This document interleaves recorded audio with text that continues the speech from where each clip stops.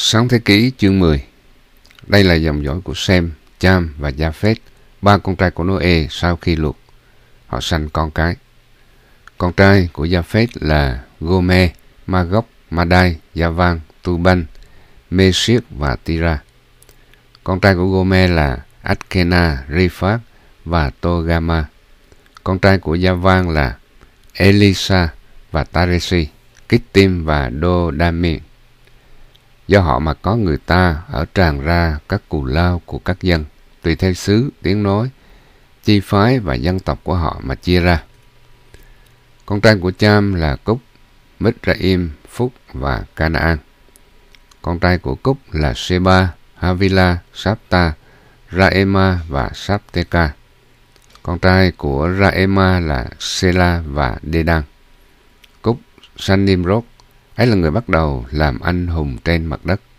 Người là một tay thợ săn can đảm trước mặt Đức Giê-hô-va. Bởi cái đó có tục ngữ rằng, hệt như Nimrod, một tay thợ săn can đảm trước mặt Đức Giê-hô-va. Nước người sơ lập là Ba Bên, Eret, Akkad và Cane ở tại xứ Sinea.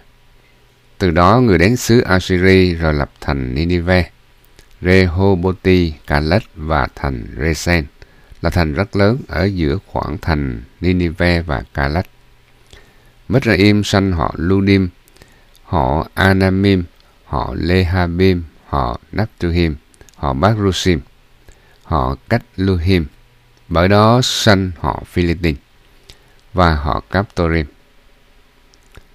Canaan sanh Sidon là con trưởng nam và hết cùng họ Jebusit, họ Amorit, họ Giregasit, họ Hevit, họ Arekit, họ Sinit, họ Avadit, họ Semarit, họ Hamatit. Cái đó chi tộc Canaan đi tản lạc. Còn địa phận Canaan về hướng Gera chạy từ Sidon tới Gaza, về hướng Sodom Gomorrah, Akma và Seboim chạy đến Lesa. Đó là con cháu của Cham tùy theo họ hàng, tiếng nói, xứ và dân tộc của họ. Xem tổ phụ của họ Hebe và anh cả của Japheth. Cũng có sanh con trai. Con trai của Sem là Elam, Asura, Abaksat, Lúc và Aram.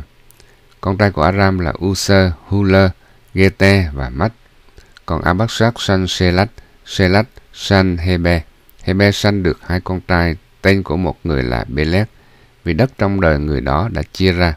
Tên của người em là Dốc Tan. Dốc Tan sanh Amodak, Selep, Ha Samavet và yeret Hadoram, Usa, Dikla, Oban, abimael Seba, Ophir, Havila và Yobab. Hết thảy các người đó là con trai của Dốc Tan. Cõi đất của các người đó ở về phía Sepha, chạy từ Mesa cho đến núi Đông Phương. Đó là con cháu của Sem, tùy theo họ hàng, tiếng nói, xứ và dân tộc của họ. Ấy là các họ hàng của ba con trai Noe tùy theo đời và dân tộc của họ. Là cũng do nơi họ mà các dân chia ra trên mặt đất sau cơn nước lụt.